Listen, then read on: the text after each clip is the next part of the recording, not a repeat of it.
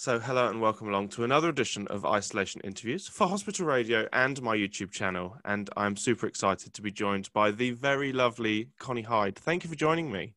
Oh, pleasure, Matthew. I was looking at my jam-packed schedule and I thought, where can I fit you in?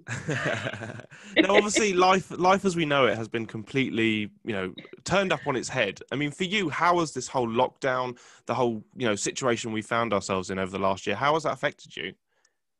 Right. Well, I think I've been incredibly lucky uh, in the fact that um, I haven't had anyone ill, touch wood, seriously ill. So um, that's the main thing. Um, everybody's been safe. Um, so incredibly uh, fortunate in that. Um, um, I, I also have an allotment which has saved my sanity and soul um, because I do live in London and I haven't got a garden. Um, so um, yeah, and I'm I'm a huge gardener. In fact, the, the, year before, weird enough, I did do a City and Guilds um, year long course in professional gardening just because I love gardening and didn't really know much to do. Um, but actually, that's been really fortuitous because I've got work because I haven't been working as an actor. I've got work as a gardener in the in the lockdown. So um, so that's kept me going. And but I've got two teenage sons, and I think um, oh, not easy for them, is it? they should be out snogging and getting up to mischief. I mean, the good thing with obviously the gardening is we are getting to that time of year where it's starting to get, you know, you can get back out there. Obviously, you know, you know, just just general pruning and all that sort of thing. So it's so good for your mental health as well. Just being out in the fresh air, um, you know, you know, looking at nature as well. It's it's just it's a really relaxing thing to do. Oh, it, it, will. It will um, bring us back to life, I think. And and actually, I did a specialist course, um, uh, STH, which was social and therapeutic horticulture, uh, which was fascinating and something actually. Uh, I will I will persevere because it was just it was additional needs gardening, um, especially d- dementia gardening as well, which is uh, incredibly important, you know, especially if someone's been passionate about the garden, but also, like you're saying, for uh, health, mental health, um, physical, uh, keeping you going. You know, it's um, so anyone even going out for a walk and now seeing the little bulbs coming up, it's wonderful, isn't it?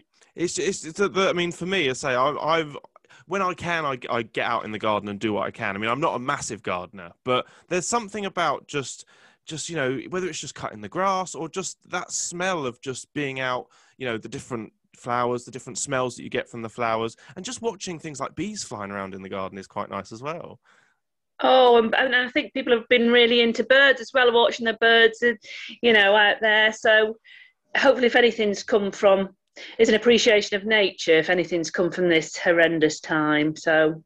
And the other thing as well is it has you know given us a real appreciation for the amazing nhs uh, healthcare assistants you know key workers that are doing such a great job.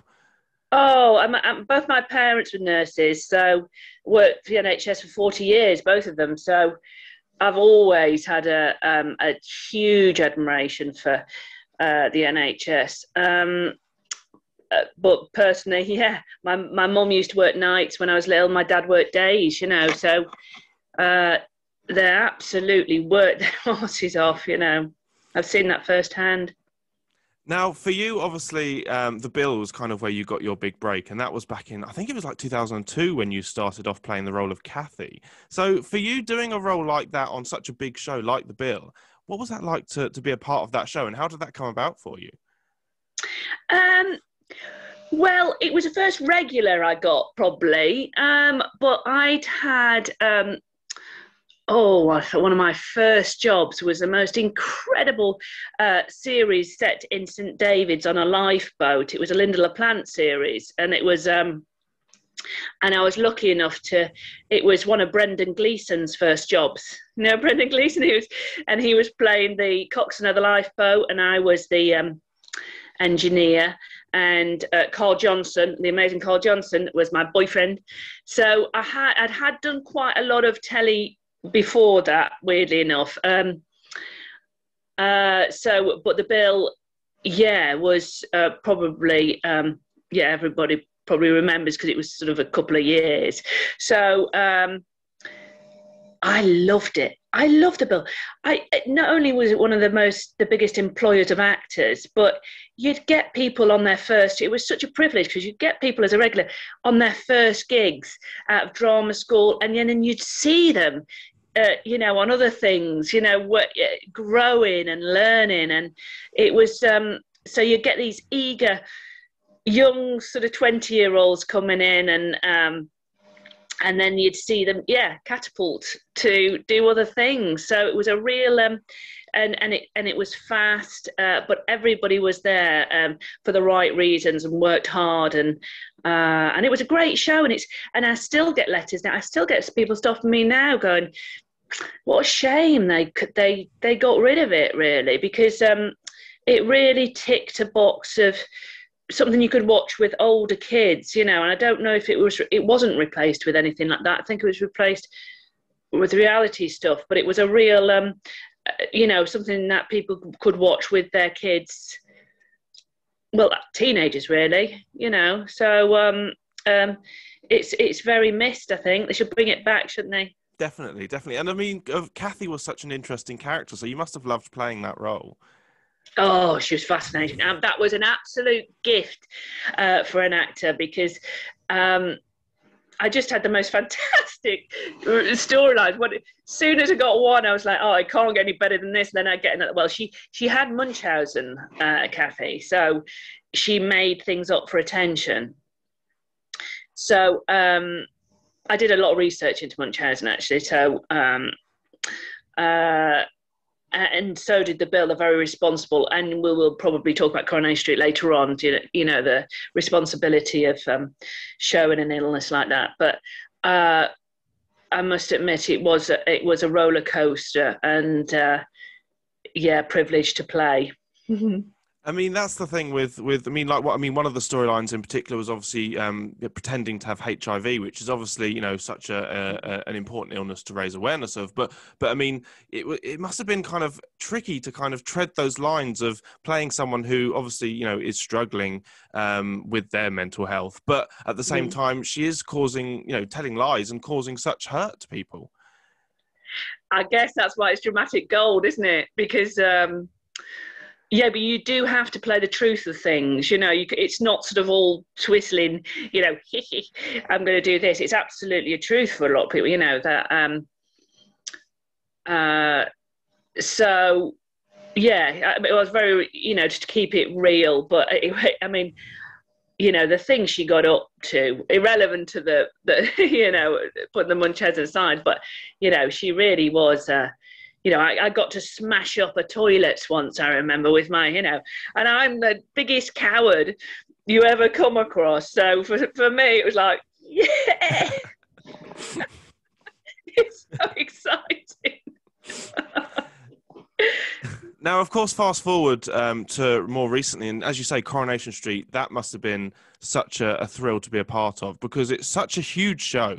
Um, and to be um, the sister of Sally, who of course is an amazing woman again. So that must have been so much fun to join join the cast of Corrie.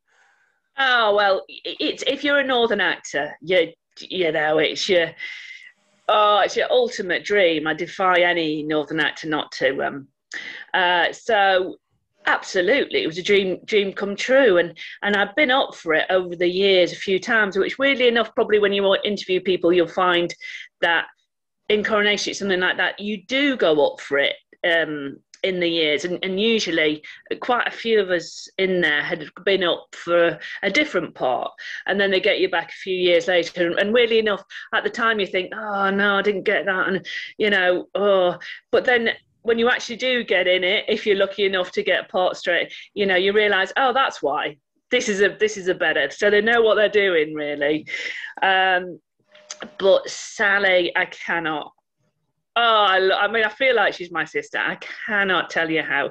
Well, you know, you've she's been on this show. Yeah, how she's an absolute beautiful. Exactly. I mean, having it when when she joined me, she was one of the early guests that I had on the series, and didn't ta- you know no, normally when you're sort of organizing these interviews it can take a few you know a week or a couple of weeks to organize. She was literally like i'll do it. And then like i think later that afternoon or the following day we were doing it. And it's just she's such a, a giving woman with her time and thoroughly deserves her mbe which she received um, uh, earlier this year i think it was. Um, but yeah i mean for, for you when you get to join a show and be connected closely to someone like her you must feel like you've hit gold uh, doing you know working with her so closely Well, I was, I was absolutely because um, not only that, she is incredible. No, she's a lovely person. She's an incredible actress. She is so versatile. She can do anything, and she's and also so passionate. I mean, you know, I, I don't know. Is it thirty years she's been? I shouldn't say that. She'll probably tell me off. Might be late. We'll say twenty. No, it's longer than that.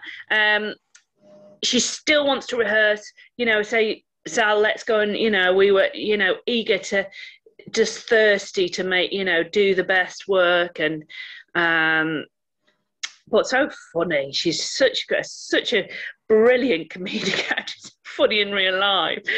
Um, so you never really. Um, it could have been a lot more frightening, I think, but because you had someone like that who is without ego and just passionate and about the job and getting on with it. Um, yeah, it was it was it was um, yeah a, a, a absolute pleasure, and I do miss her. But I talk to her every week. We do a a little sometimes. Well, it was a coffee morning, and now it's turned into prosecco. a bit later on No, with no- Houston as well. Do you know Oh, yes. Houston? Yeah, yeah. so we have that, and then and yes, it's, it's a bit sneaky now, 'cause- only because Sal sent us one in the post, a bottle of prosecco. Now, of course, one of the big storylines while you were there um, was Sally being sent to prison. Um, so, I mean, what was the? I mean, yeah, I ma- imagine that doing a storyline like that, everyone loves Sally. What was the response like from from the audience? Yeah, not good. um, yeah, it's weird. When I started you see, when I did the bill, is I think there's a huge difference. There was no social media or anything, and I don't think we realised how. Um, I probably would have got a terrible amount of negativity if if there was. So I was very surprised, um, and in fact, I wasn't on. Um, oh, what is it? Facebook or um, Twitter when I joined Coronation Street. I'm not really that sort of um, a social uh, person, not social media person. Um, and then straight away, within a day, someone had set up two fake accounts in my name, you know, which I, I was astonished, you know. So that I had to then you have to get a tick and whatever, you know, and get your own. Um, but so I, this is that was actually it wasn't the acting particularly you know, it was that you know and, and actually i shouldn't have read it you know because as you're saying uh, she's very loved uh, but people take it very personally And that's the thing, street and that's the thing with with obviously social media. You can get a hundred lovely comments, but you'll always see that one negative comment, and because we're, we're built that way. We're humans are built that way to kind of focus on things that you know maybe criticisms or or, or insults, but you'll miss all the, the the good stuff because you're you're you're focusing on that one comment. I'm trying to work on that at the moment, Matthew, actually. And I was looking, um, telling one of my boys who does exactly that. Uh, a, a fantastic books I'm reading anyway. Um, but I was there was a I can't remember the podcast, but it was a it was an author, and he got five star reviews for all his books. Fantastic, fantastic. And, and as you know, and then one review with a one star, and he got obsessed with it. Couldn't sleep, you know. He was just completely ruminating, going, "Oh, what? Why did I get one star?" Anyway, um, so he looked into the person who'd given him one star, and found out that he'd given everybody was.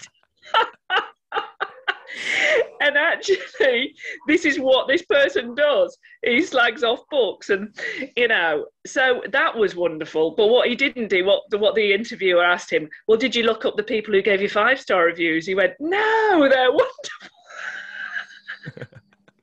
so actually, no, it's nonsense, isn't it? It's nonsense to keep hold of that. Why would you know? So we've really got to train ourselves not to do that.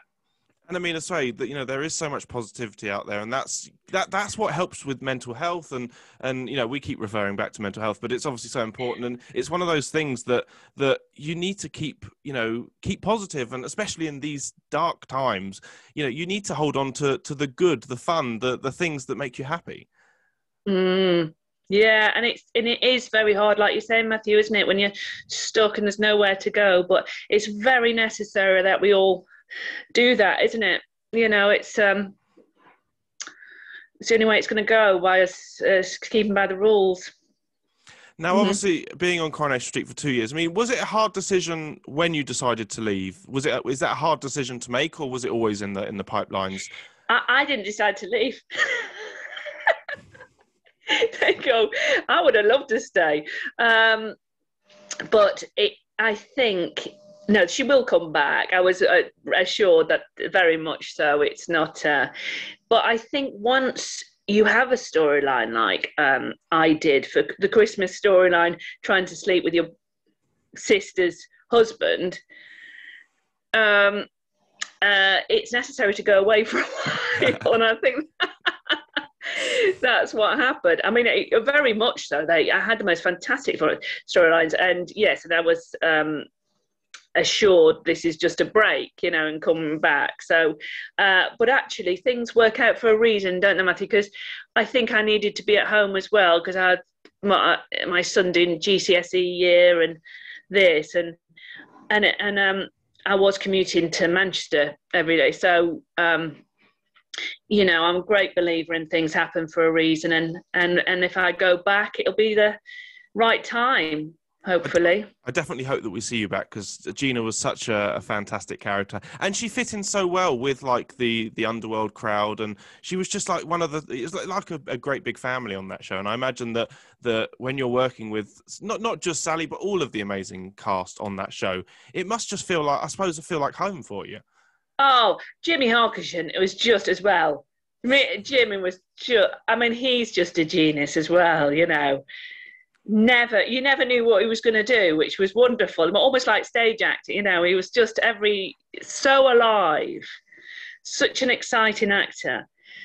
Um, so there were there were incredible um, actors on that show there are incredible actors and the writers are at the top of their game you know it's not it's not something i mean they've you know that they've written novels they're writing plays all the time they're doing other things i mean they really are the top of their game. Now i just have to say it's been an absolute pleasure talking to you. Thank you so much uh, for joining me. But before we go have you got any messages you'd like to give to anyone who is stuck in hospital at the moment and uh, and listening to our chat um, please, it will pass. Please stay strong and um, look out the window. If you've got lucky enough to see a window, just have a look out the the weather's changing. You might see some leaves or birds, but um, it will pass got to, hasn't it? It really does, hopefully. Yeah. Now, again, Connie, thank you so much for joining me. It's been an absolute pleasure. Of course, keep safe, um, and hopefully, we'll speak again soon. You too, Matthew. Bye now. Keep safe. Bye.